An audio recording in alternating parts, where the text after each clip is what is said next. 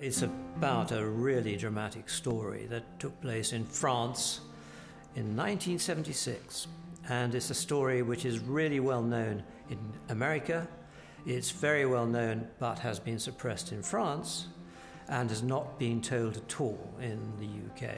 It's about really uh, an article that was placed in Time magazine by a guy called George Taber, who attended this famous tasting and he had the brilliant idea of saying this was the judgment of Paris. And it was the judgment put together by Steven Spurrier, an Englishman living in Paris on the right bank.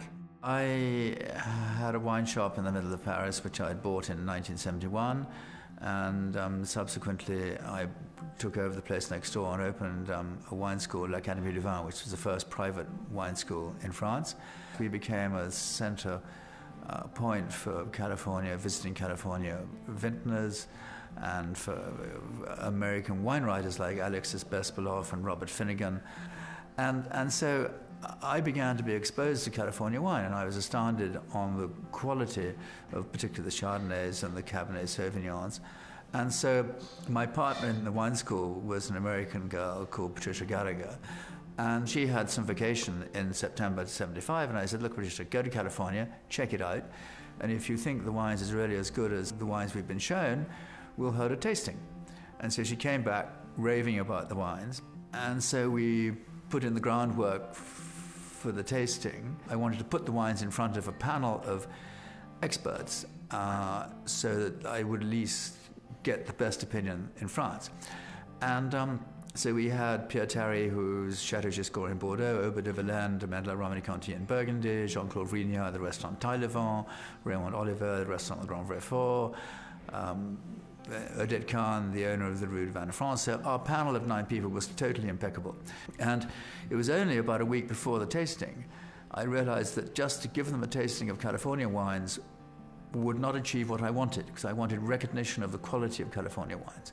And so my conclusion was even though in the best will of the world they would have liked to appreciate the California wines, they would have known that California is somewhere north of Mexico, and they would have treated these California wines rather like something from southern Spain.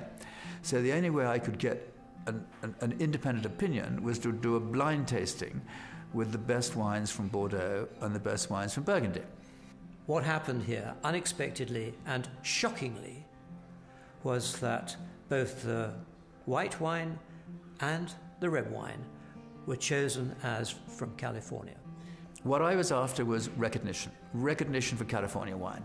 And because George Taber of Time magazine was there, he was doing a wine course at my wine school, and he wrote it up in Time magazine, The Judgment of Paris. And at that point, there was no way that anyone could stop the publicity.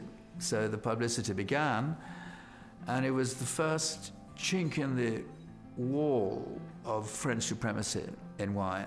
It was a shock. And there was a movie made called Bottle Shock, which is a double entendre. It certainly caused a riot in, uh, in Paris, and Le Monde had precious little to say to it. There was another repeat tasting because when it was discovered that the French wines had come quite a long way down the list, a number of comments were made. One of them was, well, of course, uh, wines from California mature earlier than those from France. Try it in 10, 20, 30 years' time. And 30 years later, well, in fact, in 10 years and 30 years later, Mr. Spurrier decided he would do it again. And uh, I was at that tasting in uh, 2006.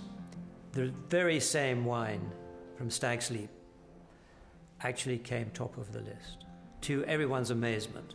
What this tasting really proved was that the differences between the very top quality wines of France and the very top quality wines of California is so difficult to tell that had the tasting been done on a different day, a different result would have almost certainly been the outcome. I didn't really know the story of the wine tasting event. Was aware of Judgment in Paris from old master paintings, so it's quite an interesting take on that theme. And um, it sounded interesting, but I love the way that Sir Peter told the story. He had a real sort of tempered passion about it. You could see that he was really involved. And that kind of triggered my imagination. And I could see images starting to sort of like formulate in my mind. So it seemed like a winner from the start to me. Just like, uh, I thought it had great potential.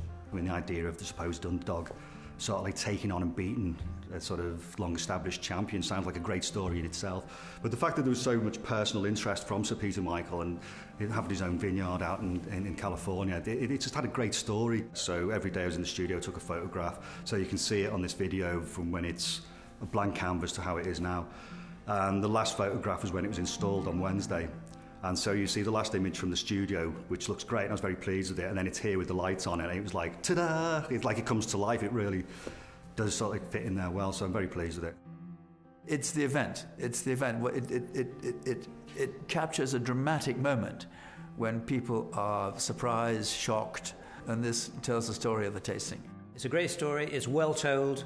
The tasting gives way to uh, a silence and then an explosion and that explosion is shown here in graphic detail. I think it's, it's one of my better pieces, and I'm really proud to put my name on it. First thing you see coming into this entrance hall is this picture behind me, but you see it from some 15 or 20 meters away, and as you open the vista, it then opens up as this extraordinary picture that Gary Myatt has crafted, and he's produced, I think, an absolute masterpiece.